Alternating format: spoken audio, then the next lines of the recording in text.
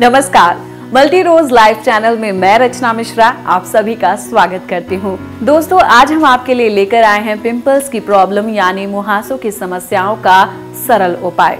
दोस्तों, देखा जाता है कि पिंपल्स की प्रॉब्लम यानी मुहासों की समस्या यंग एज के शुरू होने के दौरान ही देखने को मिलती है।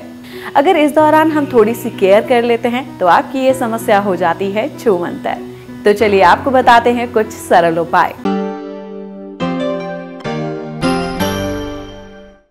उपाय नंबर एक की बात कर लेते हैं, जिसके लिए हमें सामग्री चाहिए। सी सॉल्ट और जैतून का तेल, जिसे हम ऑलिव ऑयल कहते हैं।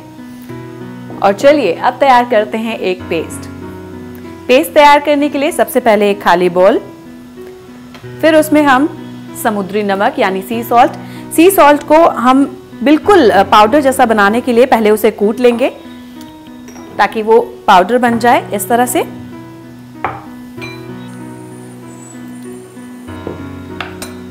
और इस तरह से हमको इसका बिल्कुल जो पाउडर है, वो बना लेना है।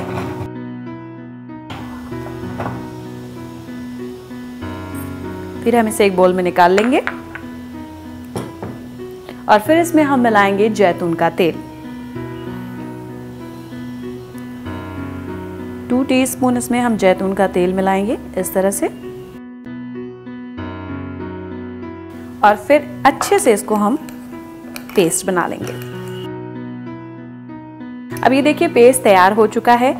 लेकिन एक बात का ध्यान रखें कि जब भी आप इस मिक्सचर को अपने फेस पर, यानी पिंपल्स पर अप्लाई करें, उससे पहले चेहरे को साफ़ पानी से धो लें और उसके बाद इस पेस्ट को जहाँ जहाँ फेस पर पिंपल्स हैं, उस पर अप्लाई करें और फिर उसे रात भर यूँ ही लगा रहने दें। सुबह उठकर साफ़ तौलिए से अपने फेस को क्लीन कर लें। इसके रोज़ाना इस्तेमाल से आप देखेंगे कि आपकी पिंपल्स की प्रॉब्लम कैसे छूमंतर हो जाती है। और चलिए आगे बढ़ते हैं, बात करते हैं उपाय नंबर दो की। जिसके लिए हमें सामग्री चाहिए, गुलाब जल, लेमन जूस यानी नींबू का रस। तो चलिए, अब हम उपाय नंबर दो की जो रेसिपी है वो तैयार करते हैं। इसके लिए हम एक छोटी कटोरी में थोड़ा सा गुलाब जल लेंगे। एक चम्मच अगर गुलाब जल आप ले रहे हैं तो याद रखिए कि उतना ही आपको नींबू का रस भी लेना है। यहाँ पर इस तरह से हम इसे मिक्स कर लेंगे।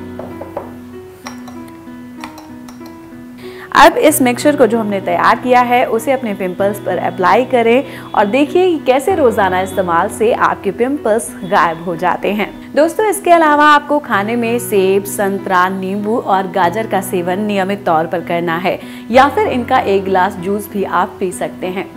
और इस बात का ध्यान रखें कि अपने पिंपल से छेड़छाड़ बिल्कुल ना करें। ऐसा करने से आपके चेहरे पर दाग हो सकते हैं।